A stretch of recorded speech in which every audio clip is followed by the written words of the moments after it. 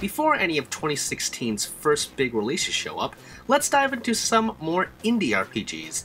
These little games are great concepts for what hopefully turns out to be another trio of successful Kickstarters. So let's go ahead and take a look with this first one, which is Orion Trail. This game is essentially Oregon Trail mixed with Star Trek. Players set out on multiple missions with scenarios stopping their task in the process. For example, aliens may invade, so a decision has to be made on how to deal with the problem. Choices will affect the quest results, dealing out experience and supplies to the end of each run. Unlike the next two, Orion Trail is actually out for $10 on Steam. Fortunately, their free prototype is still up, so if the demo has you hooked, like me, head on to Steam. Outland 17 is a concept that asks, what if the British Empire and the American colonies fought in space instead of in America?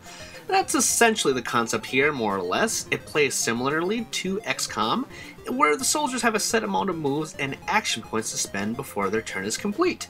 The Kickstarter was unfortunately not successful, though it has been approved on Steam Greenlight, and the team is still working on it. Hopefully this is not one of those games that never comes out and we'll see it eventually, but for now, you can enjoy the demo. Pixel Noir, as the name suggests, is a noir story with pixel graphics. Stylized with an adventure game aesthetic, players have to unravel a case in order to progress through sewers and bars to solve the mystery. Oh yeah, and it's a turn-based RPG. Not groundbreaking by any means, but a cool concept nonetheless. It was successful on Kickstarter, even has a console goals in mind once the PC side of things comes out. It may be the most interesting in the bunch, for me at least, because I love me some RPGs and I love me some classy detective narratives.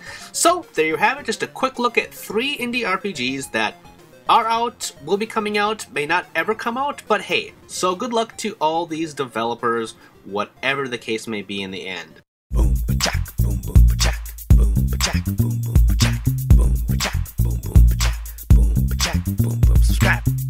boom, boom, boom, ba-jack, boom, ba-jack, boom, boom, ba-jack.